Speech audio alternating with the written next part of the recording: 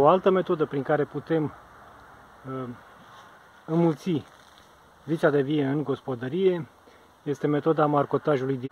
Astfel, din uh, corzile uh, existente în vița de vie, putem alege pe cele mai viguroase, le putem îngropa și astfel obținem o nouă plantă, care în timp se va dezvolta individual, iar după o perioadă de 3 ani putem întrerupe alimentarea de planta mamă, astfel ca noul punct de inserție în pământ să devină uh, o plantă de sine stătătoare independentă.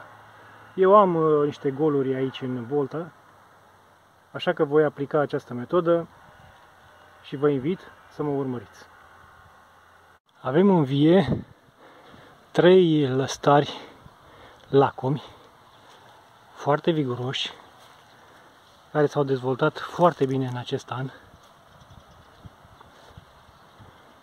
și pe care dacă îi las, anul viitor vor produce struguri. Dar, având în vedere lungimea mare, nu se vor garnisi cu struguri pe toată această lungime.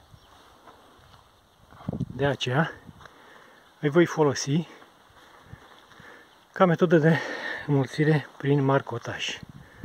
Marcotaj îngropat de uh, corzi. Haideți să facem gropile să vedem cum procedăm. Luăm prima noastră coardă de vițe de vie, o îngropăm într-o groapă de 30 de cm adâncime și pe ea o voi lega în sus la nivelul primei sârme. Nimic mai simplu, acoperim cu pământ, o fixăm bine și voi uda cu câte o găleată cu apă. În aceste puncte de uh, contact cu pământul, în timp, vița de vie va dezvolta rădăcini. Și după 3 ani de zile de la îngropare, voi putea să secționez partea de alimentare care vine de la planta mamă.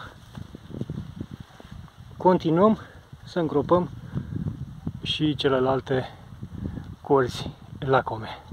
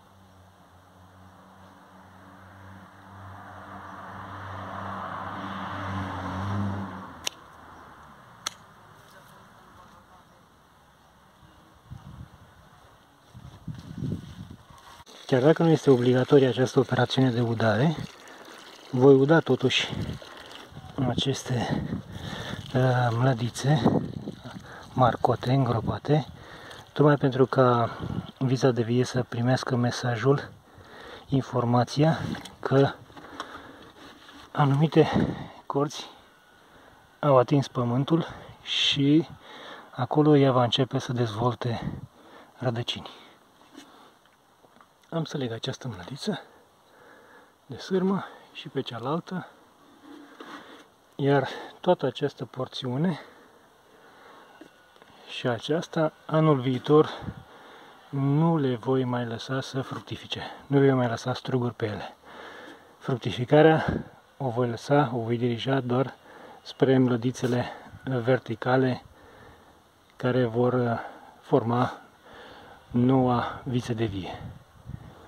Punctele de alimentare vor rămâne uh, sterile, doar cu frunze, fără struguri, pentru a alimenta noile puncte de inserție în pământ. Îi pun acum această, o goleată cu apă și până la primăvară nu mai ud, pentru că oricum aceste corzi sunt alimentate prin planta mama.